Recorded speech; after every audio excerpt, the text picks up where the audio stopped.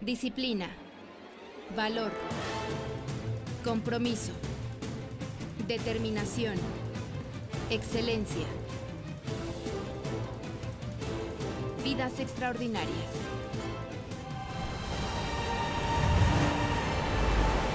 ¿Le quieres decir a todos que los sueños, por más locos que parezcan, se pueden hacer realidad? Pues entonces tus locos sueños, hazlos realidad.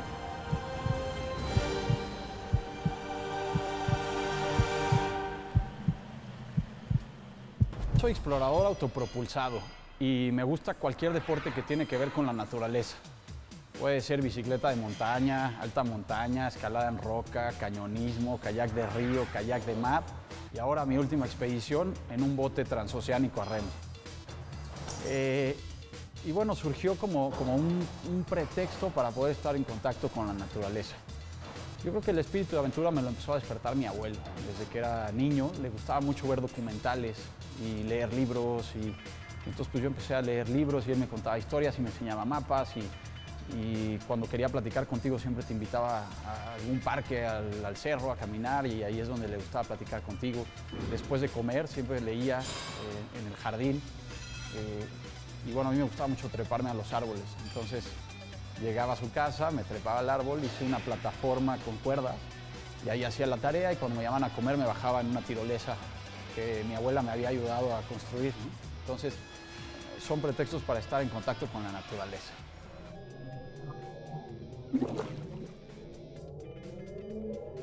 Pues yo era muy aplicado en la escuela. Este, me acuerdo de una anécdota en particular que después mi mamá me contó, que le habían llamado la directora, que porque necesitaba hablar conmigo acerca de su hijo, ¿no? Con, ella acerca de su hijo. Y pues mi mamá llegó y dije, pues, ¿qué pasó? ¿Qué hizo mi hijo, no? No, señora, es que eh, algo le pasa a su hijo. ¿Pero por qué? Mire, está en la selección de natación. Este, siempre está eh, impecable, súper bien peinado, se porta súper bien, saca puro 10. Algo le pasa a su hijo. Era así como muy, como un señorcito, dice mi mamá que era de pequeño. Ya después me fui descarriando un poquito, ¿no? Pero yo creo que la gran diferencia era que a la mayoría de mis amigos se la pasaban en juegos de video y pegados a la televisión. Y a mí me tenían prohibido la televisión y no me interesaban los juegos de video. Entonces yo me la pasaba en el exterior haciendo cosas, en bicicleta, cortando el pasto con mi abuela, caminando con mi abuelo en el cerro. Y eso me abrió un panorama diferente. Y pues, la enseñanza de, de mi abuelo, de mi mamá, de leer, a mí me gustaba mucho leer, era mi forma de viajar, de vivir aventuras a través de los libros.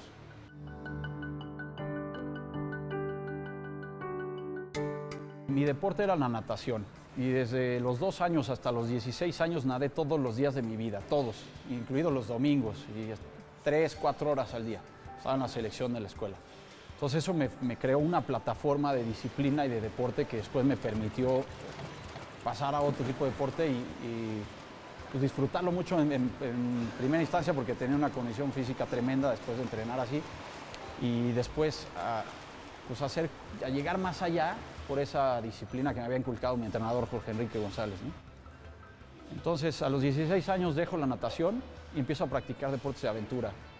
Le hace eh, en roca, media montaña y alta montaña me abrió como un horizonte diferente. Ya caminaba con mi abuelo en el cerro de repente y andaba en bici por la ciudad y me iba a la escuela en bicicleta, que me encanta andar en bici, me da una sensación de libertad fantástica. Y ahí es donde empezó como la, verdadera aventura, ¿no? Con este tipo de deportes, hasta que de pronto hice una caminata de 22 días, desde Torreón hasta Monterrey por la sierra, con un amigo y un primo. Pero sabía muy poco yo todavía de, las aventuras, medio nos lo aventamos al, al. Afortunadamente todo salió bien y de ahí luego empecé a hacer salidas en bicicleta de varios días eh, y cada vez más y hasta que llegó un momento en el que desperté ese sueño de niño de, de, querer conocer todas las playas de mi país, que se me había metido en la cabeza cuando tenía ocho años porque me invitaron a acampar a una playa fantástica en Oaxaca. Y la pasé tan bien y me quedó mucha curiosidad de qué había en la playa de al lado, porque había un cerro y pues nunca vi la playa al lado. Dije, pues si esta está padrísima, la de al lado también debe estar muy bonita. Y la de al lado también, bueno, yo las quería conocer todas y no sabía cómo. Y fue hasta 20 años después que decidí que la mejor manera de hacerlo era a bordo de un kayak. Así que empecé a practicar kayak para poder conocer las playas, como mi manera de, recorrer. Teniendo todo el antecedente del deporte, era como mi manera de, viajar. Y mi abuelo solía decir que es a la velocidad del ser humano, a la velocidad que realmente podemos conocer lo que está sucediendo a nuestro alrededor. Oler el lugar, sentirlo, su temperatura, su humedad, su gente, sus plantas, su, tipo de terrenos, realmente percibirlo. A la velocidad del ser humano es la manera de hacerlo. Y también me acuerdo que mi abuelo me decía, pues que hoy por hoy eh, la gente puede ir al otro lado del mundo, firmar un papel, regresarse y no tener nada que contar. Y antes, no sé, Marco Polo. Todo lo que te puede decir del mundo, todo lo que aprendió, todo lo que vio, todo lo que experimentó, para ir hasta allá. Podía escribir libros y libros de historias. Entonces a mí me llamaba mucho la atención esa idea, ¿no? de viajar a la velocidad del ser humano. Y bueno, pues llegó un momento en el que me imaginé teniendo 85 años sin haberme atrevido a hacer las cosas que había soñado. Dije, pues es ahora, quiero saber quién soy, quiero saber hasta dónde puedo llegar y le voy a apostar todo mi ser a conseguir algo que realmente me importe conseguir, algo que me haga ser feliz. Quiero vivir haciendo lo que me gusta. Y ahí empezó el reto.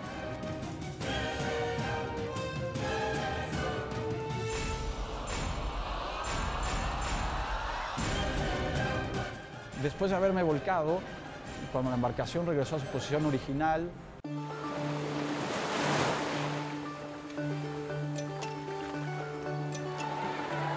hice mi primera expedición de 15 días solo en un kayak para eh, ver, ir viendo cómo estaba el asunto, ¿no? Y me gustó tanto el hacerlo solo, porque al principio quería ir acompañado, pero es difícil encontrar a alguien que comparta intereses, tiempos, este, capacidades físicas, técnicas.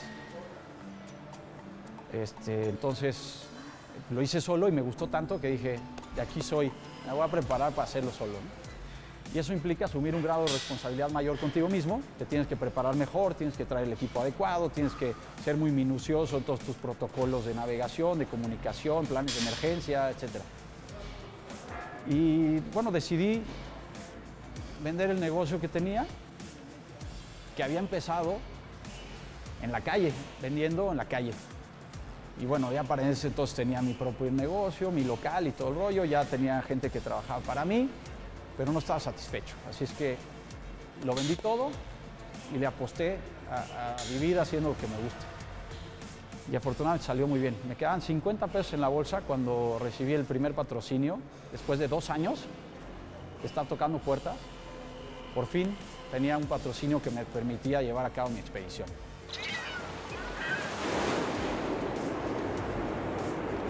Empezó realmente pues, a rendir frutos todo ese trabajo de, años. Y en esta ocasión, pues eh, tuve que aprender una técnica diferente, representó un nuevo reto en muchos sentidos. Y a diferencia de lo que muchos creían, no fue más fácil que la primera vez conseguir quien creyera en mí. A pesar de que ya había navegado 11.500 kilómetros solo en un kayak y había sido todo un éxito, la segunda vez fue igual o más difícil que la primera. Me tomó seis años armar el proyecto y encontrar gente que creyera en mí para llevarlo a cabo. Entonces fue una técnica nueva la que tuve que aprender, como si te enseñaran a caminar otra vez. Me volteé de nuevo en la pista eh, olímpica aprendiendo a hacer esto. Y bueno, aprendí lo suficiente para cruzar el océano remando. Mi técnica no es la mejor del mundo, pero es suficiente para cruzar un océano y un mar.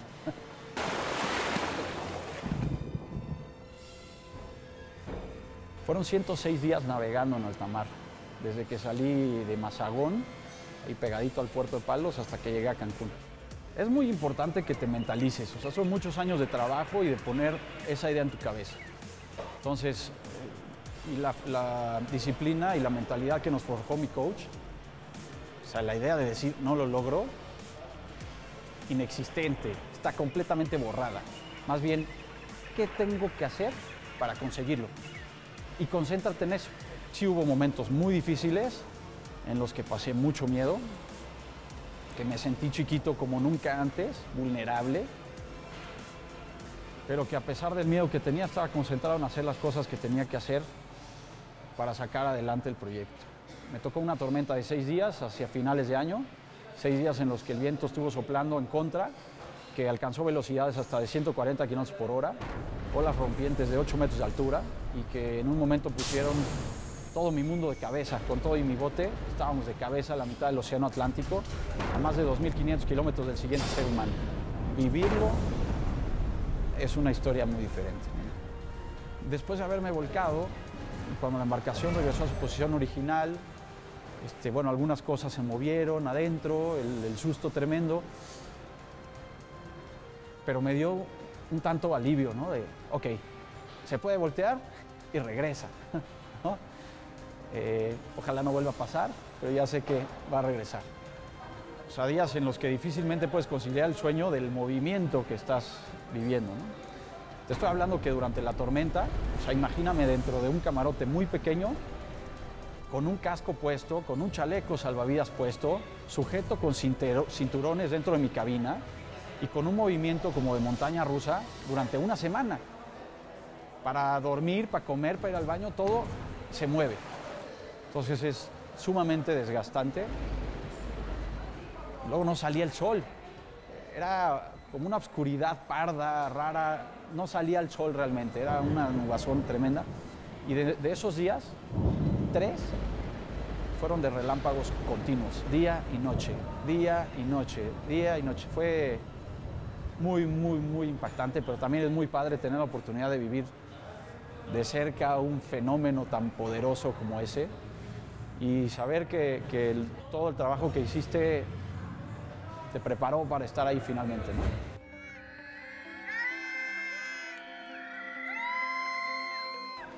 Acercarte a, a tu objetivo y empezar a ver tierra después de todo ese tiempo y todos esos años de trabajo me despertó dos emociones. Una es una satisfacción por estar a punto de completar algo que tanto trabajo me costó, sudor y lágrimas, y miles de puertas y miles de llamadas y cientos de reuniones, muchísimo entusiasmo, eh, mucha pasión vertida para que eso sucediera. Entonces, por una parte es cerrar un ciclo, pero por otra parte yo estaba navegando porque me gusta navegar, porque para mí son pretextos para estar en contacto con la naturaleza son los lugares donde se vive la armonía total. No hay ningún otro sitio, no hay nada creado por el hombre que te pueda hacer sentir como un lugar natural lo más salvaje posible.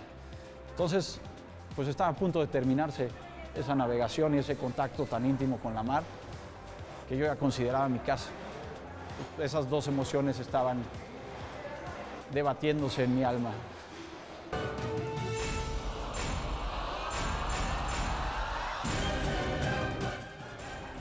Venga, prepárate bien. ¿Qué cursos tienes que tomar?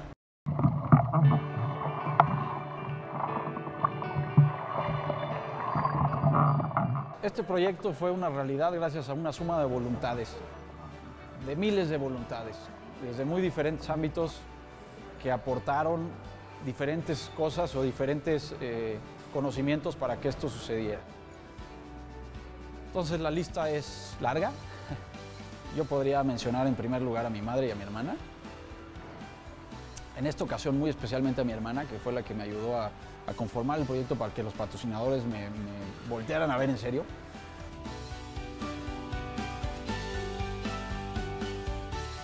De entrada mi madre, pues todos los cuidados que me ha brindado durante toda la vida. Este, por ejemplo, cuando estaba en la selección de natación, o sea, entrenábamos de 5 a 6 de la mañana y de 6 a 8 y media, 9 de la noche. Pues ella me llevó y fue por mí todos los días y me preparaba el desayuno para que yo fuera bien alimentado, hacer eso, ¿no? Este, y me preparaba bien la comida y mi lunch y la cena y que fuera nutritivo para que pudieras y hacerlo durante 16 años, ¿no? todo el tiempo que estás entrenando, de ahí de entrada, ¿no? Luego, el hecho de, de que sea una madre que cree en ti, que cuando quieres hacer algo, en vez de decirte, ah, te vas a matar, te va a pasar no sé qué, venga, prepárate bien, qué cursos tienes que tomar, cómo tienes que entrenar para hacer eso. Tú puedes conseguir cualquier cosa que te propongas. Cuando me subí al árbol a hacer mi tarea, a muchos de mis amigos ni siquiera los dejaban, porque se podían ensuciar, porque se podían lastimar, porque estaban más seguros viendo la televisión. Y mi madre tenía pues, ese- esa visión distinta de confiar en que lo que hiciera lo podía hacer bien y lo, con cuidado y, y vaya, no pasa nada. Y la ropa pues, se ensucia, se lava y si se rompe se cose, ¿no? O sea, es así de simple, pero hay, vez- hay a veces que estamos enfocados mucho en el tema material. Entonces desde ahí me puedo seguir con un montón de cosas y toda la vida me dijo, haz lo que quieras, pero haz algo. Cualquier cosa que se le metía en la cabeza que quería hacer, lo hacía. Así tuviera que cruzar el mundo entero, lo hacía. Y siempre le puso mucha energía, mucho entusiasmo y es muy eficiente. Le gusta hacer las cosas. Vamos, a eso, vamos, va, venga, pa, pa, pa, pa, pa, pa. Ya lo hicimos, eso.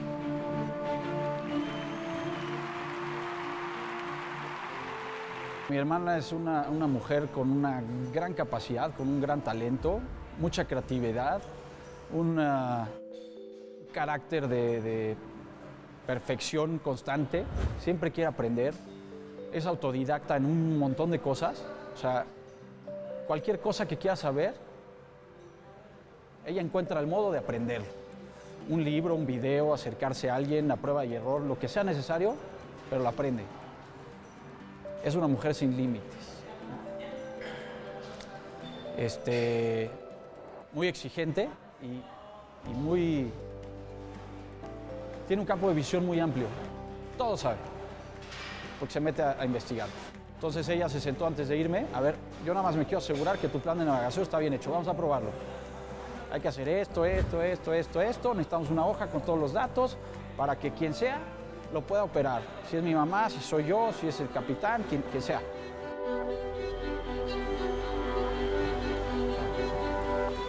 Mi abuelo también formó una parte muy importante de esto. Él fue una persona que, se hizo justicia a sí mismo y que más que hablar, hacía. Entonces él con, su vida fue un ejemplo mismo. Nació en un pueblo en Coahuila con lo básico para sobrevivir, tal vez un poco menos que lo básico. Y él a costa de, de dedicación, como seguramente mi hermana le aprendió, él aprendió francés traduciendo un libro. Se fue a una biblioteca, agarró un diccionario, agarró un libro en francés y se puso a traducirlo hasta que aprendió. Y así aprendió inglés. Y antes de que empezara su curso escolar, él ya se había leído todos los libros que le pedían para el curso escolar. Él siempre fue más allá.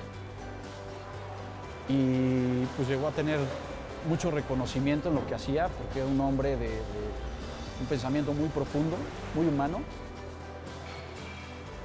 Y jamás se le subió a la cabeza toda esa influencia que pudo llegar a tener.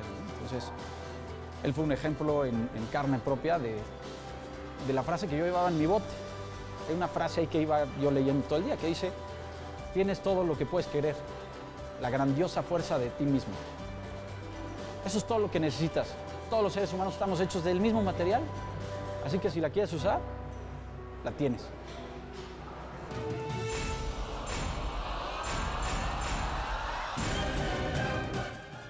Tú tienes que creer que eres capaz de lograrlo. Ese es el primer gran paso. Tienes que creer.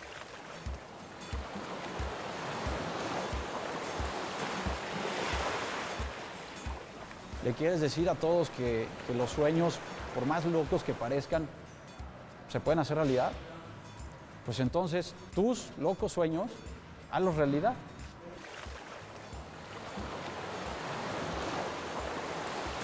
Durante un año no tuve trabajo y después decidí que iba a empezar desde cero. Así que me fui a Morelia y con un tío, pues él vendía líneas telefónicas y teléfonos y cosas de ese estilo, así que pasé unos años vendiendo en la calle de puerta en puerta. Me fue bien porque, porque sabía qué era lo que quería conseguir. Me di cuenta que era capaz de hacer muchas más cosas de las que yo me creía capaz, porque yo me creía incapaz de vender, incapaz, así. Podía hacer cualquier otra cosa menos vender. Me di cuenta que podía vender y que lo podía hacer bien. Después puse mi propio negocio y llegó un momento en el que me imaginé teniendo 85 años sin haber intentado las cosas con las que había soñado, lo que realmente me importaba. Y fue ahí que dije, bueno, si eso que no me gusta lo hice bien, pues seguramente esto que, que de verdad me importa lo puedo hacer mucho mejor, ¿verdad?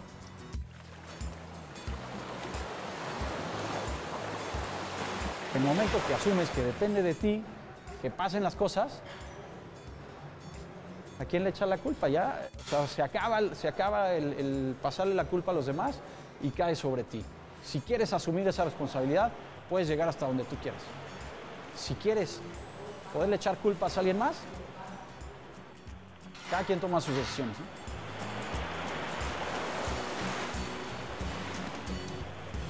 Me acuerdo, por ejemplo, que mi abuelo decía que tus palabras sean un hecho futuro de realización cierta. O sea, que si vas a hablar es porque lo vas a hacer. Si no, calladito te ves más bonito. Entonces, que te, que te cumplas a ti mismo, que seas auténtico, pensar, sentir y actuar congruentemente. Eso me parece fundamental. Porque entonces toda la energía está encaminada hacia el mismo lugar.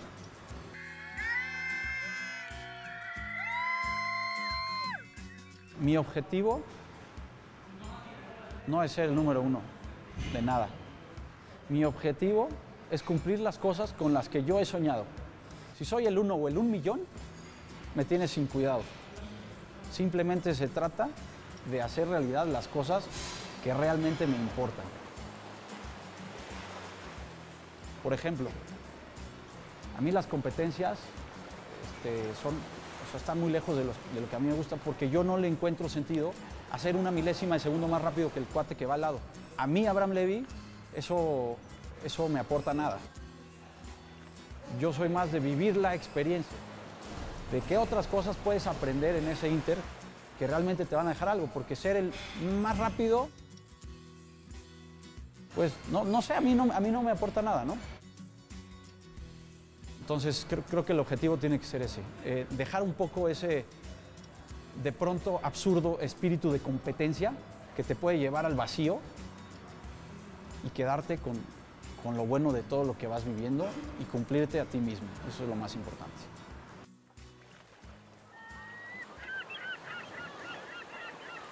A mí me parece sumamente importante que sepas quién eres, que te gusta. Y para eso, el mejor lugar para hacerlo es en la naturaleza. La naturaleza quiere venderte nada, te deja ser. Tiene interés ninguno en meterte ideas en la cabeza. Entonces, si tú te das oportunidad de estar ahí contigo mismo, sin otra influencia, empiezas a, saber quién eres y qué es lo que realmente te gusta a ti. Y cuando lo sabes, como es algo auténtico, es real, es profundo, tienes la motivación suficiente para ir por él. El tema es descubrirlo primero. Yo creo que ese es el gran secreto. Estamos bombardeados de información con una intención particular. Quedarte un esclavo del consumo. Sacar dinero. Ponerte a chambear para sacarte dinero. Entonces, a mí me parece importante librarte de eso, de esa esclavitud, de las ideas que, son de alguien más y no tuyas, y que sepas cuáles son tus ideas y vayas por ellas. Hay una cosa que me parece también fundamental. Tú tienes que creer que eres capaz de lograrlo. Ese es el primer gran paso. Tienes que creer que eres capaz de lograr eso. Después de que sabes qué es lo que sale del fondo de tu ser. Y después, que estés seguro de que se puede conseguir y que lo, lo que necesitas lograr es encontrar el cómo. Es posible. Se trata de encontrar el cómo. Nada más. Entonces, es esa búsqueda hasta que encuentras cómo se hace.